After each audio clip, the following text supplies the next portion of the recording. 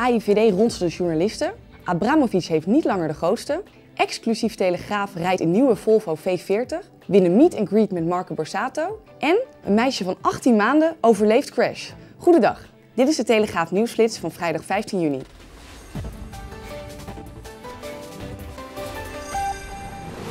Een groep Nederlandse sportverslaggevers heeft informatie verzameld voor de AIVD tijdens de zomerspelen in China van 2008.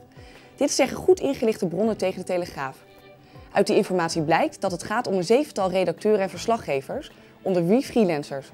Alle journalisten die de AIVD benaderden voor het verrichten van werkzaamheden, stemden daarmee in. Slechts één verslaggever sloeg uit principe een financiële vergoeding af.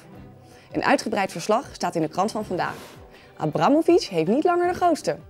Dit is de boot die het superjacht van Roman Abramovic van de troon stoot als het grootste ter wereld.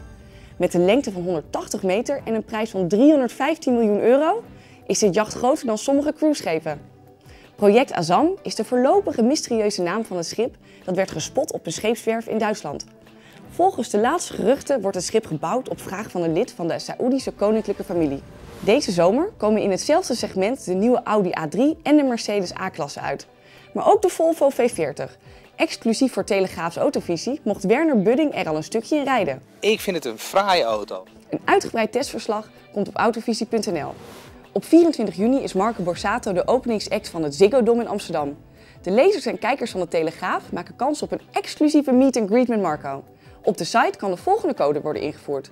H5M MB2 B7G.